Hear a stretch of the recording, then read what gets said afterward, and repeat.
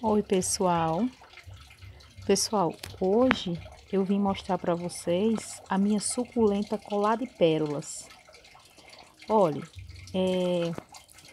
essa planta é nova aqui em casa, foi um presente que eu ganhei da minha amiga Michele, né?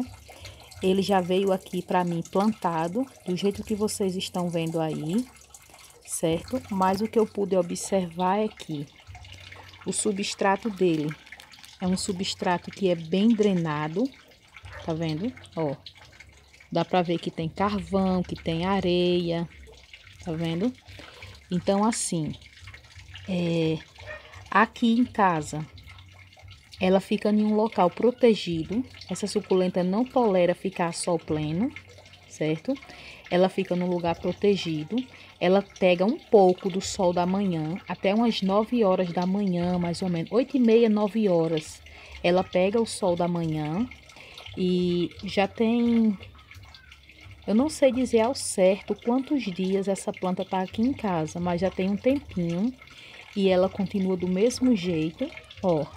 Já saiu essas quatro bolinhas aqui, essas aqui, ó. E essas aqui também, ó. Essas outras três aqui. Então, assim, tá se desenvolvendo, né? É...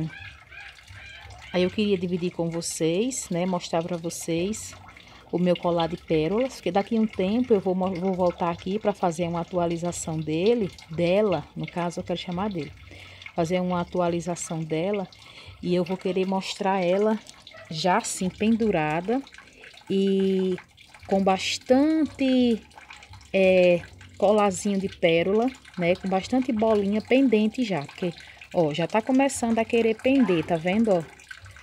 Então, pessoal, é um pequeno vídeo, né? Só para mostrar para vocês.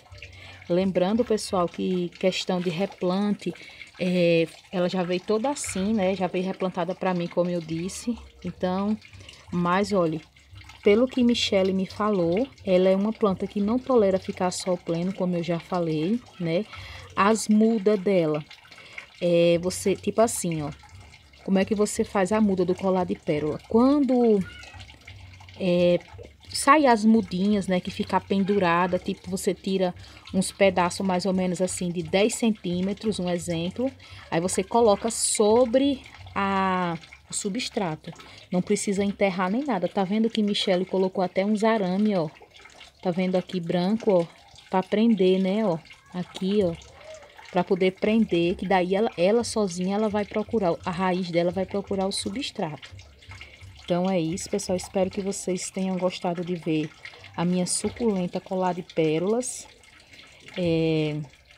Não esqueça de curtir, de compartilhar, de se inscrever no canal. Lembrando, pessoal, que tem bastante novidades vindo por aí, né? Sobre cactos, suculentas, é, plantas, plantas em geral, pessoal.